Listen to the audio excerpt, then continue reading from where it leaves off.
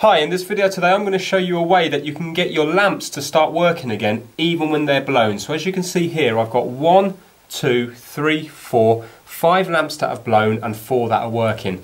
Now this will only work with the lamps that have a filament in. So in this particular one it's a G9 and what happens is the filament burns out and then normally you throw away the lamp and buy a new one. But often if you just wiggle the light around when it's on, if the filament touches again, because it burns so hot, you can actually burn it back together and often you can get months out of it. And when it blows again, sometimes you can get it to work again. So it gets you a little bit more life out of your lamps. So sometimes it will work and sometimes it won't work. If the filament's completely blown out, it won't work. But if it's just a nice clean break, then it will work. So what I'm going to do is I'm going to swivel these ones around to try to get them to work again.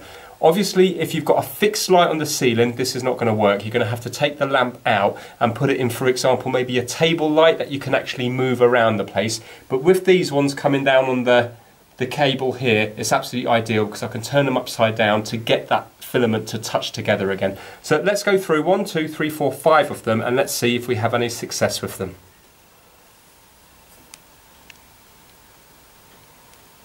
So there you go, you see it came on there. So I'm going to hold it in that position now. You don't have to do it for very long, just hold it there for maybe 5 or 10 seconds. And then when you put it down, just put it down gently again. And just leave it there, because if you wiggle it around now, remember it hasn't fully fused together yet. So that's one's work. Let's try this one here.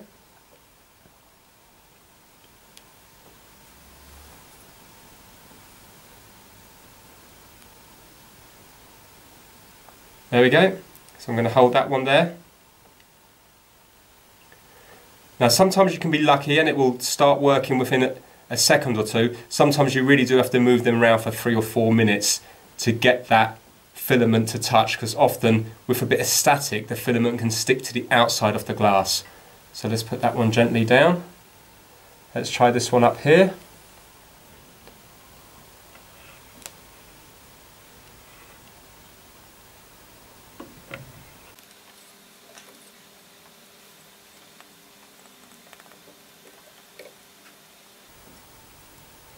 Right, I'm not sure if that one's going to work, so let's try another one.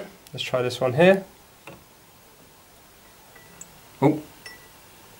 Right, okay, because that made a, a, flash and I heard it I heard it kind of blow. What's happened on that one is the filament's completely blown on that one, but I'll show you that one at the very end. So let's try this one here. Oh, and there we go, that one has also just blown. So out of the five, I'll try this one more time just here just to see. No. So out of the five, we got two that's working. And if I was to turn the lights off and turn them back on again, they will come back on again.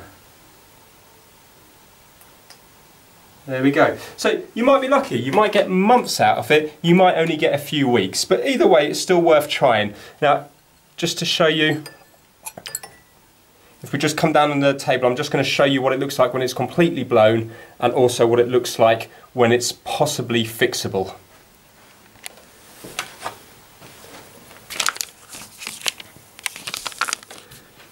Now if we have a look here, hopefully if we come right in, you'll be able to see that on this one here, you can see that the filament goes up that side and comes down this side. And can you see there's a nice clean break. So there's a chance on this one here by moving it around the place and giving it a tap that you'll be able to get the filament to touch that bit there. And then it's made the circuit again. But on this one here this one you've seen that it just flashed for a second and then went. That's because it's completely blown. If you have a look there now the the only filament that's left is just on that top bit there. You can see there's no path back to these two silver prongs down here.